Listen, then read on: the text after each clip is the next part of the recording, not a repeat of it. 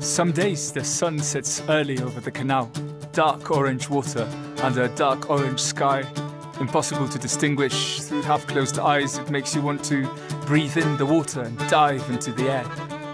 And look, the days where you live, you share with crowds of others. Predictable hours after predictable hours, and you want yours to be as different from theirs as waves from wind.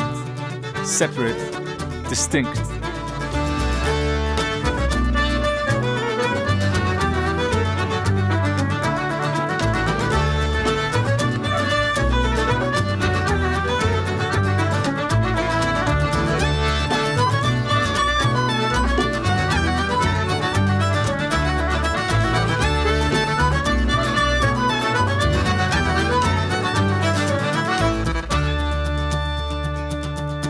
Day will come when you step back, half close your eyes, and watch the edges blur, filled with the urge to breathe their air and dive into their lives.